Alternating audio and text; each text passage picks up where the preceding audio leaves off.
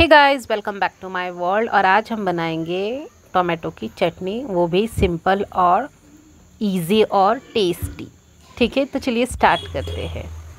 तो पहले हमें क्या करना है? वेजिटेबल ऑयल लेना है, जैसे कि हम सनफ्लावर ऑयल यूज़ करते हैं। और आप जो भी यूज़ करते हैं, वो आप ले सकते हैं।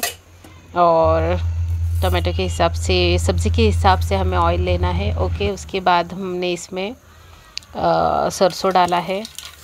सरसों चटकने के बाद हम इसमें क्या डालेंगे? हरी मिर्च लहसुन और प्याज।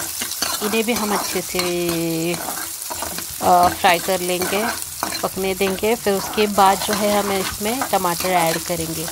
और जो टमाटर है, हमने उसे एकदम बारीक कट कर लिया है। बड़े बड़े पीस पीस में नहीं काटना है उन्हें, एकदम बारीक वाली करना है, जैसे कि हमने प्याज को किया है, ठीक है?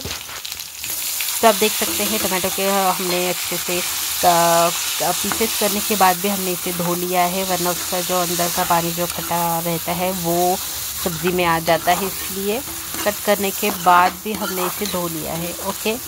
उसके बाद हमें क्या करना है, इन्हें अच्छे से पका लेना है।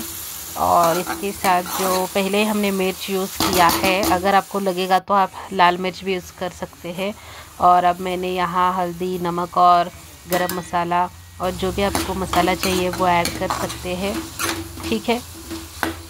अपने हिसाब से मसाले ऐड करिए जो भी आपको पसंद है और जो हमारी टमाटो की जो चटनी है वो बहुत ही लाजवाब बनेगी।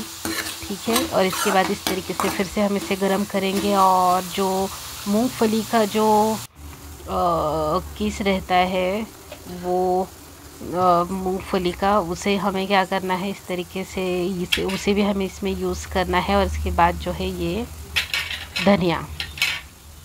ओके और आ, बाकी जो हमारा जो टमाटो का जो चटनी है वो रेडी है और हम इसे रोटी के साथ खा सकते हैं। बहुत ही टेस्टी लगेगी। आप भी एक बार इसी तरीके से बनाकर खाइए।